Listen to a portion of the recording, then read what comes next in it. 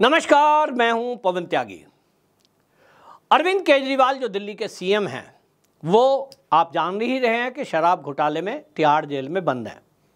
और जिस तरह के हालात हैं, सुप्रीम कोर्ट तक में भी जो ईडी को उन्होंने चुनौती दी थी गिरफ्तारी को, उस पर तत्काल सुनवाई नहीं हुई। इससे एक इशारा हो रहा है कि अरविंद केजरीवाल अब लंबे गए। जिस तरह की चीज़ें खुल करके आ रही हैं, एक के बाद एक घोटाले खुलासे हो रहे हैं और अब तो अरविंद केजरीवाल के जो खासम खास राइट हैंड हैं, उनके जो वहाँ पार्टी का काम संभालने वाले हैं, और अरविंद केजरीवाल जी के निजी सचिव, वो जब से विभव कुमार गिरफ़्तार हुए हैं, तब से तो अब ये लग गया कि और भी अंदर की चीज़ें खुल करके सामने आएँगी। गोवा चुनाव में हुआ खर्च, वो मनी ट्रेल मिल चुका है, और इसलिए आम आदमी पार्टी के नेताओं को भी पता लग चुका, अब अरविंद केजरीवाल तो साल, दो साल से पहले आने नहीं। और इसीलिए अब उन्होंने ये तैयारी शुरू कर दी कि दिल्ली का सीएम पद और पार्टी का संयोजक, जो कि अरविंद केजरीवाल आजीवन रहने वाले हैं, ये इन्होंने नियम बनाया है। आम आदमी पार्टी के संविधान में है। तो फिर पार्टी कैसे चलेगी? तो सुनीता केजरीवाल जी को आगे किया जा रहा है। कोई आश्चर्य की बात नहीं है, सभी पार्टियाँ इस तरह से करती हैं। परिवारवादी पार्टी जितनी भी हैं, उन्होंने ऐसा ही किया है कि जब उनके ऊपर कोई आफत आई तो अपनी पत्नी, अपना बेटा, अपना भाई उन्हीं को आगे करते हैं। ये बात अलग है कि आम आदमी पार्टी ये दावा करती थी और अरविंद केजरीवाल परिवारवाद के खिलाफ ही खड़े होकर अन्ना हजारे जी के आंदोलन में इन लोगों को गालियाँ दिया करते थे। लालू प्रसाद यादव और सोनिया गांधी, जिस तरह से शरद पवार, इन लोगों को ये कहा करते थे कि देखो, ये परिवारवादी लोग हैं। ये मुलायम सिंह यादव ने देखिए अपने बेटे को आगे बढ़ा दिया। लालू यादव ने अपने बेटे बेटियों को आगे बढ़ा दिया। हमें इनके विरोध में काम करना है।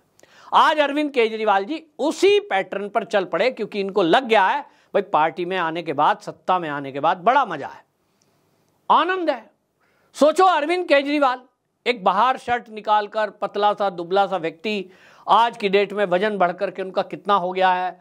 एक ऐसे आलिशान घर में रहते हैं जिसमें डेढ़ सौ ए लगे हैं, जिसमें विदेशी मार्बल लगा है। जिसमें ठंडा गर्म पानी वाला तो टॉयलेट का पोर्ट लगा है।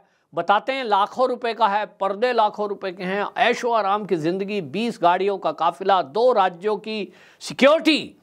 ऐसा तो कोई मुख्यमंत्री नहीं है देश में जिसको दो राज्यों की सिक्योरिटी हो। एक पंजाब की, एक दिल्ली की। इतना जान को खतरा है।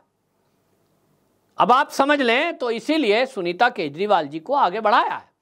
और सुनीता केजरीवाल जी, उन्होंने हमने देखा कि वो जेल से संदेश आया है, ऐसा कहकर पढ़ती थी। और वीडियो बोलती थी रोज़, ये बात अलग है, उनके वीडियो का मज़ाक उड़ने लगा, क्योंकि उन्होंने बातें ऐसी कर दी कि अरविंद केजरीवाल जी ने कहा है कि उनका शरीर केवल जेल में है, लेकिन उनकी आत्मा दिल्ली वासियों के पास है। तो मज़ाक उड़ने लगा। अब उसके बाद आप, हमने देखा कि फिर भी ये तय हो चुका है लगभग आम आदमी पार्टी में, क्योंकि अरविंद केजरीवाल जो कहेंगे, जो वही फाइनल है। और ये संदेश आ चुका है कि भैया पार्टी की कमान और किसी को नहीं मिलेगी। पार्टी में संविधान है कि संयोजक तो जीवन भर अरविंद केजरीवाल रहेंगे। सह संयोजक बनाकर पार्टी की चीज़ों को चलाया जा सकता है, क्योंकि पार्टी का फंड निकालना है, पार्टी में किसी को टिकट देना है, पार्टी से किसी को सस्पेंड करना है, इस काम के लिए पार्टी का संयोजक ही अधिकृत है। अब उसमें सह संयोजक की अभी तक कोई पोस्ट नहीं थी। तो अब यह खबर आई है कि जब अरविंद केजरीवाल जी लंबे नप गए हैं, ऐसे में पार्टी के दो सह संयोजक बनाए जा सकते हैं। पहले खबर आ रही थी कि संजय सिंह को बनाया जा सकता है और एक दूसरा भगवंत मान को। लेकिन संजय सिंह के बारे में जब से ये खबरें आई कि संजय सिंह को ईडी ने जो छोड़ा है, वो एक समझौते के तहत छोड़ा है, संजय सिंह ने आम आदमी पार्टी के गोवा के चुनाव की पूरी जानकारी कहाँ पोस्टर छपा, कहाँ बैनर बना, किसने पैसे दिए, हवाला ऑपरेटर कौन था? ये जानकारियाँ ईडी को दे दी है अपनी जान छुड़ाने के लिए। और उसी के बाद अरविंद केजरीवाल जी के पीए की गिरफ्तारी हुई विभव कुमार की। उसी के बाद चरणप्रीत की गिरफ्तारी हुई, जो हवा, ये सारा काम देख रहे थे पीआर का। तो इसी से ये भी लग गया और वो हम देख रहे थे, अखिलेश यादव से मिल रहे थे। फिर वो पता चल रहा है, कांग्रेस के लोगों के संपर्क में भी हैं। एक पत्रकार ने तो दावा कर दिया कि वो कांग्रेस में शामिल होने जा रहे हैं, क्योंकि आम आदमी पार्टी की तो मान्यता रद्द हो जाएगी, पार्टी टूट जाएगी, पार्टी खत्म होने जा रही है। तो भैया, ये लग गया कि अब संजय सिंह तो गए। तो कौन होगा? पार्टी के दो सह संयोजक हो सकते हैं। एक सुनीता केजरीवाल, जिनके हाथ में पार्टी की कमान रहेगी पूरी, और एक रहेंगे भगवंत मान, क्योंकि वो पंजाब के सीएम हैं, और उनके संसाधनों का उपयोग आप तभी कर सकते हैं जब उनको आगे बढ़ाकर रखेंगे। उनके माध्यम से पूरा पंजाब का कंट्रोल रहेगा और वो हर जगह आजकल प्रचार में भी जा रहे हैं। भाई उनके हवाई जहाज़ में अगर बैठना है तो उनको कुछ तो देना पड़ेगा। सीएम के अलावा तो कहा जा रहा है सह संयोजक उनको बनाया जाएगा। दूसरा जो है आ, दूसरा रहा दिल्ली का सीएम। तो ये तो पहले से चल रहा है सुनीता केजरीवाल ही दिल्ली की सीएम होंगी। भले ही आतिशी मार लेना सौरभ भारद्वाज संजय सिंह ये प्रयास में थे लेकिन वो कितना भी प्रयास कर लें अरविंद केजरीवाल इन सबसे ज़्यादा पढ़े लिखे हैं। और भाई, वो जो व्यक्ति, उनका इतिहास है कि उनको जो लगा कि उनको आगे लांग कर इनसे ऊपर जा सकता है। अरविंद केजरीवाल जी ने उसको टांग पकड़कर नीचे खींचा और इतना नीचे कर दिया कि वो खुद ही या तो बाहर हो गया या तो उसको बाहर का रास्ता दिखा दिया। लिस्ट ले लीजिए, आम आदमी पार्टी के नेताएँ इस पर बात करते हैं। कि पुराने पुराने लोग आम आदमी पार्टी को इसीलिए छोड़कर चले गए क्योंकि अरविंद केजरीवाल जी पूर्ण, पूरे के पूरे परिवारवादी हैं, खुद स्वार्थ में डूबे हैं, महत्वाकांक्षा बहुत ज़्यादा है, अहंकार बहुत ज़्यादा है और अपने आगे किसी को समझते नहीं है और इसलिए किसी की सुनते भी नहीं है। जो मैंने कह दिया वही सही। किसी की सुनने की आदत नहीं है।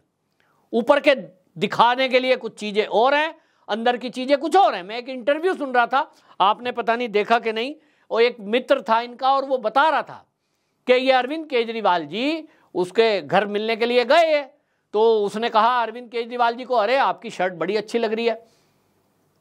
नीली शर्ट थी। बोलते हैं कि जैसे ही मैंने कहा, आपकी शर्ट बड़ी अच्छी लग रही है नहीं लाए हो क्या? कहते हैं, वो उठ के गए और एक पुरानी सी मुचड़ी हुई जिसपे प्रेस भी नहीं है वो वाली शर्ट ला के पहन ली। मैंने कहा, ये क्या किया भाई तूने? अच्छी तो लग रही थी? बोला, नहीं नहीं, पब्लिक के लोग आने वाले हैं, मीडिया आने वाली है, किसी को ये लगना नहीं चाहिए कि मैंने कुछ महँगी शर्ट पहनी है। आम आदमी की तरह दिखना चाहिए। और इसलिए मफलर पहनकर, दाढ़ी बढ़ी हुई, पैर में हवाई चप्पल, ये नाटक नौटंकी करने का, ये इन्होंने पहले से सोच रखा था कि भाई ऐसा करना है। आजकल फ़ोटो आ रही है कि ठेली पे खड़े होकर गोलगप्पा खा रहे हैं। दोस्तों के साथ फर्श पे ही नीचे लेटे हैं, कुमार विश्वास के साथ गप्पे लड़ा रहे हैं। ये सब कहाँ? सब सत्ता में आने के लिए। तो इसलिए ये सब ये माहिर हैं इस काम में, और इसलिए इन्होंने तो तय कर दिया कि जो इनको लगेगा कि ये इनको बाईपास कर सकता है, आगे बढ़ सकता है, उसको निकालो, बाहर करो, काम निकल गया, अब हम तुमको पहचानते नहीं। आप देखो ना मतलब इनका खासम खास आदमी, डिप्टी सीएम जिसको इन्होंने बनाया, मनीष सिसोदिया, उसी को फंसा दिया। शराब घोटाले में अगर हुआ भी है और ये घोटाला सारा हुआ है, अगर अरविंद केजरीवाल जी चाहते तो इसका पटाक्षेप शुरू में ही हो सकता था। किसी भी एक दो लोगों को जिनके ज़रिए ये पैसा लिया दिया गया, अरविंद केजरीवाल और मनीष सिसोदिया शायद फंसते भी नहीं।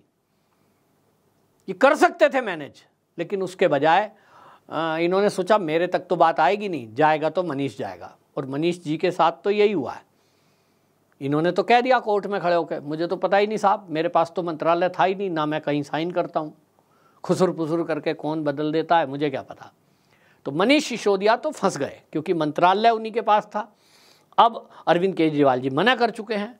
तो जो आदमी मनीष सिसोदिया को फंसा सकता है, जो कि डिप्टी सीएम पोस्ट पे व्यक्ति है, सोचिए वो बाकी किसी के साथ क्या करेगा। उनके लिए अपना परिवार ही सब कुछ है।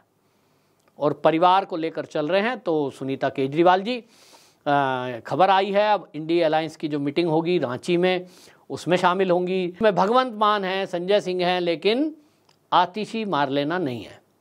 पते की बात यही है कि इंडिया अलायंस में जो तीन नेता उस मीटिंग में रांची में जाने वाले हैं, ये आपको बता दूँ 21 अप्रैल को होगी।